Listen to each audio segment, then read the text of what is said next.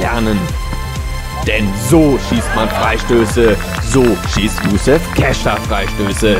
In der 24. Minute steht es damit 1 zu 0 für den Favoriten. Youssef Kescher steht schon seit 2010 für die Hürte auf dem Platz, ist also ein echtes Urgestein.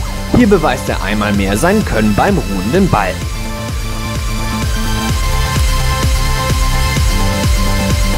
Die Blau-Weißen kombinieren in der 20. Minute zum ersten Mal schnell vor das Tor. Und gehen durch diesen Geniestreich mit 1 zu 0 in Führung. Kevin Sivakuma schießt die verdiente Führung. Bei diesen Bildern ist es schwer zu glauben, dass es erst sein erster Treffer in der Saison ist. Die Erleichterung ist ihm anzusehen. Keine Chance für Torwart Tom Meissner.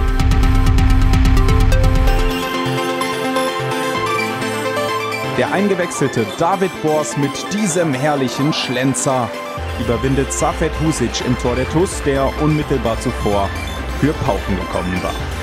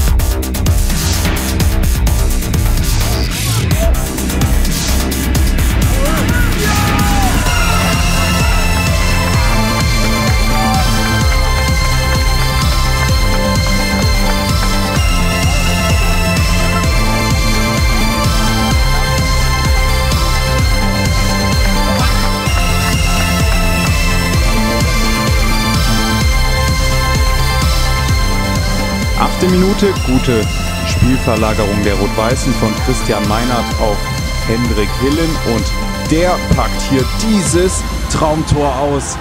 Vor zwei Jahren war er selbst noch für die TUS aktiv, konnte sich damals in der Regionalliga aber nicht durchsetzen, kam lediglich auf einen Einsatz.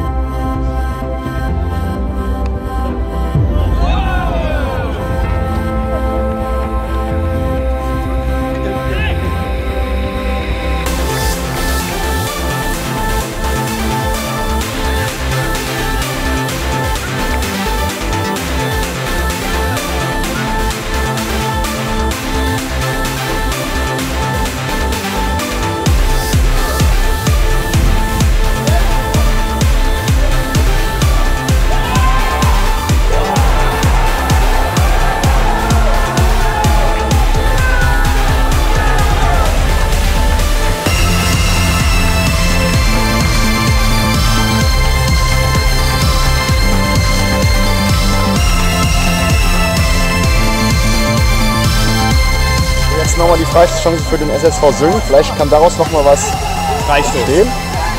Sehr, sehr viele in weiß gekleidete Spieler da vorne im Strafraum. Hoher Ball. Und er ist gefährlich! Und er ist drin! Golasso! Was ein Tor! Was ein Tor! Da haben wir eben noch davon gesprochen. Bisher hatten wir noch kein Traumtor. Da ist das Traumtor, was wir. Unglaublich, unglaublich. Kevin, Wow! Ich habe lange nicht mehr so ein schönes Tor gesehen. Also da muss ich sagen, solche Tore passieren normalerweise nur bei der zweiten. Also, Vielen Dank fürs Zuschauen. Wenn es euch gefallen hat, schenkt uns einen Like und kommentiert dieses Video. Habt ihr auch ein überragendes Tor, eine lustige Fail-Aktion oder eine sensationelle Parade gefilmt? Dann schickt uns per Mail euer Video mit allen Infos.